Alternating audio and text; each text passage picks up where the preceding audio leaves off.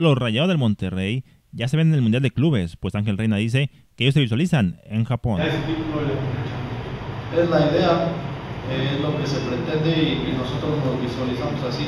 Más allá de lo conseguido, bueno, el equipo ya tiene este, algo en la vitrina, pero cada vez se tiene que pensar en agrandarse esa vitrina y conseguir más, más, cosas.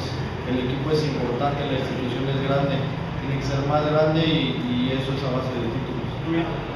Que este equipo está acostumbrado a ganar y, a lo mejor otras instituciones ya no hay esa costumbre.